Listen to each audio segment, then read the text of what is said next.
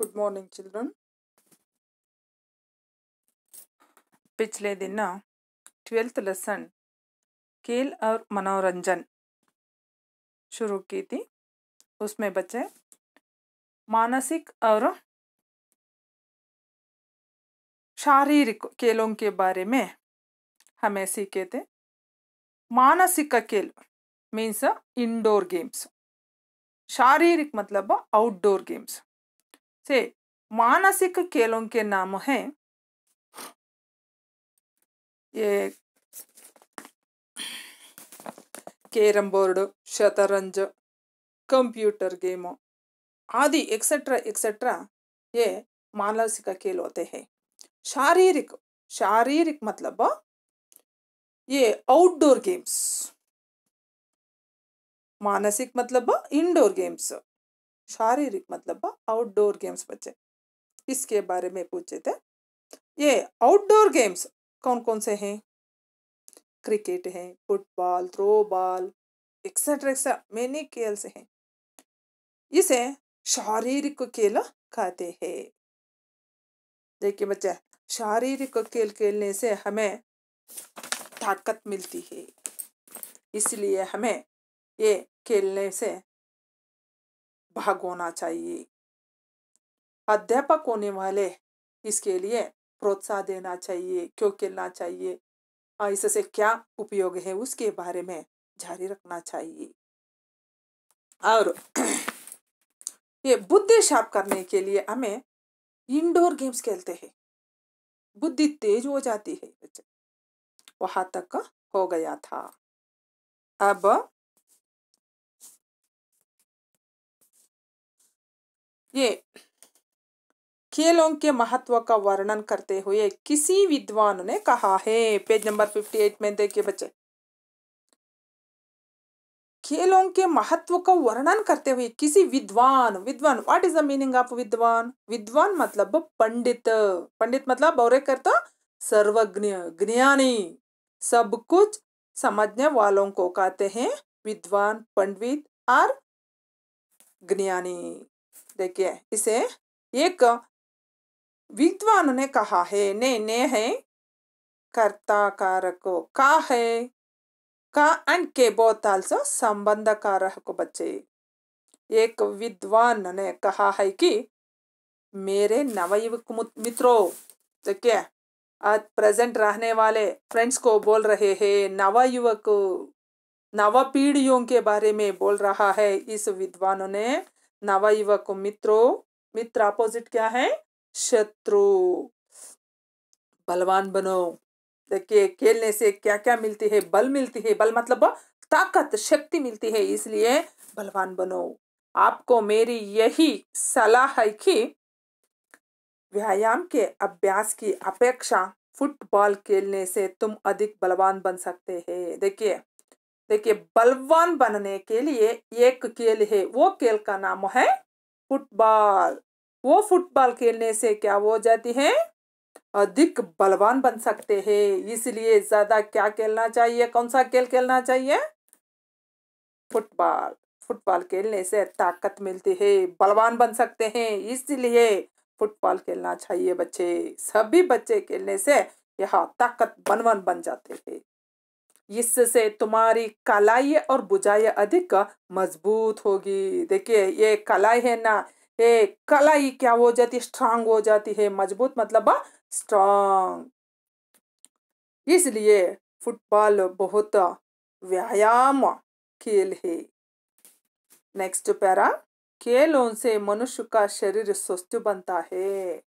देखिए स्वस्थ होना चाहिए मतलब मनुष्य हमेशा हमें एक न एक खेल खेलना चाहिए बच्चे। बिल्कुल, सब मनुष्य भी स्वस्थ बनता है। इसलिए खेल मनुष्य के जीवन जीवन में कितना आवश्यक है देखिए।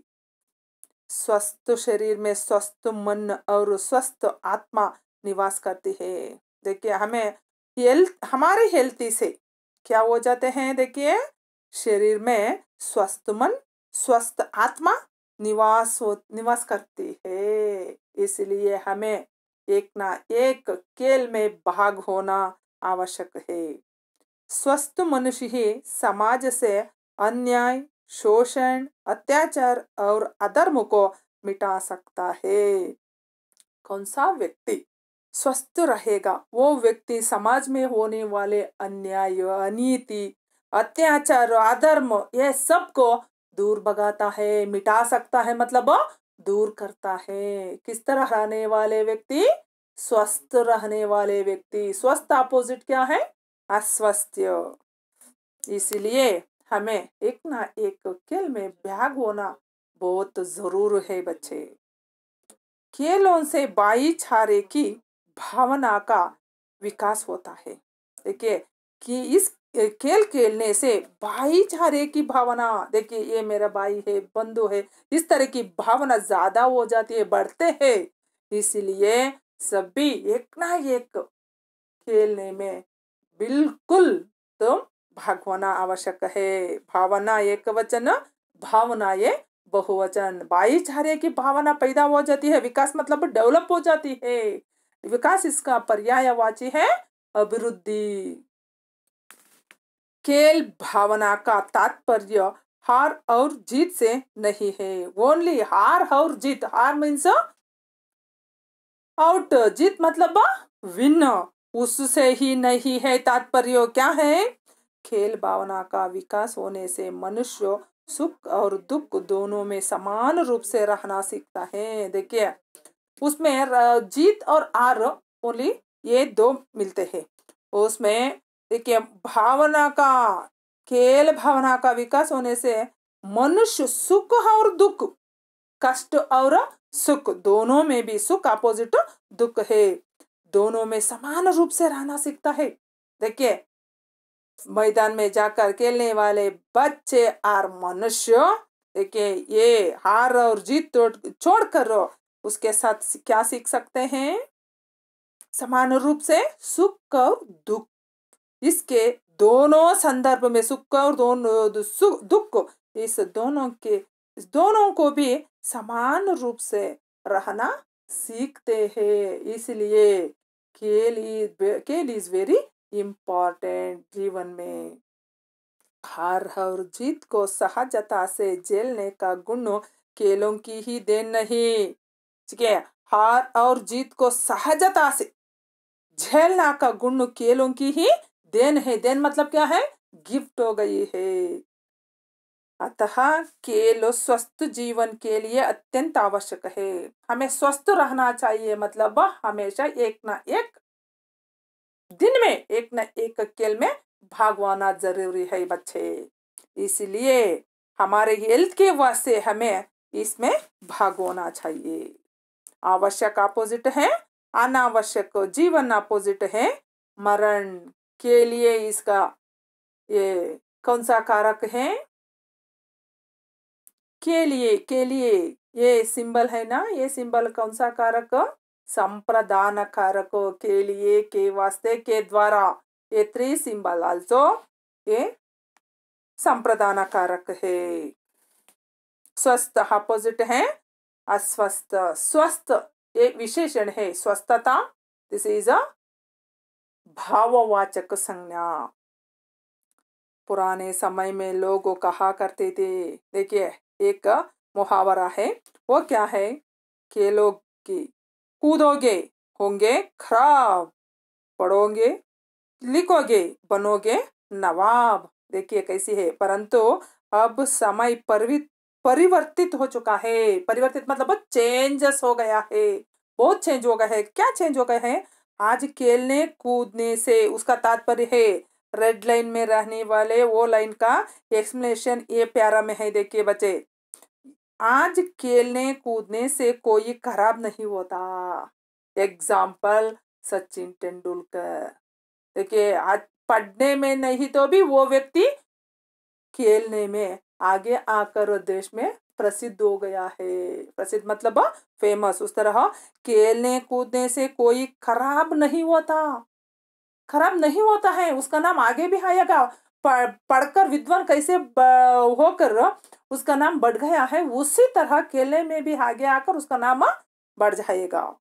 अमीर, गरीब सभी के बच्चे विद्यालय में पढ़ने जाते हैं। यस करेक्ट दिस इज़ अमीर और गरीब। पुअर और रिच दोनों भी पढ़ने के लिए कहा जाते हैं। पाठशाला में जाते हैं। उसी तरह और वहाँ उन्हें खेल खेल में शिक्षा देने का प्रारंभ होता है। सबको भी, अमीर को भी, गरीब को भी, काला को भी, गोरा को भी। इस तरह वह पार्शलिटी भी नहीं है उसे समान रूप से हमें क्या देते हैं? शिक्षा देते हैं एजुकेशन देते हैं, देने का प्रारंभ होता है। आज विश्व ने खेलों के महत्व को समझा है। देखिए, पूरे वर्ल्ड में खेलों का महत्व को समझा है बच्चे। लोग खिलाड़ी होने में गौरव अनुभव करते हैं। देखिए, विश्व में खिलाड़ियों को भी क्या दिया गया जाता है? गौरव गौरव मतलब रेस्पेक्ट देखिए, इसलिए खेलने में भी गौरव की बात है, उसमें भी भाग होना चाहिए बच्चे। बिल्कुल, यह सही बात है। एग्ज़ाम्पल संचित तेंदुलकर की तरह। पीटी उषा रनिंग रेस में किस तरह? वो पहला स्थान पाइए हमारे देश की ओर से। उस तरह प्रसिद्ध हो जाएँगे। इसलिए खेलने में भी बहुत आवश्यक है। खेलने में भाग होना चाहिए, बच्चे। ओके, हो गया है आज। नेक्स्ट क्लास में नेक्स्ट लेसन देखेंगे बच्चे।